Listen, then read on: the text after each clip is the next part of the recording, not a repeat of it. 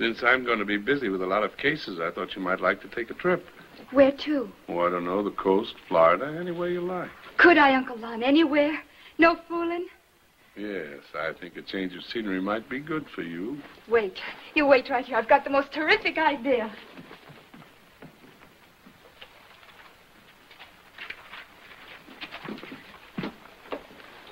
Oh, Cuba, yeah, that's not a bad idea. Imagine me on this beach here in my green bathing suit. Yipe. I almost bought a white one the other day, but it wasn't quite extreme enough. I mean, don't get me wrong. If I really went in for the extreme extreme, I would have bought a French one.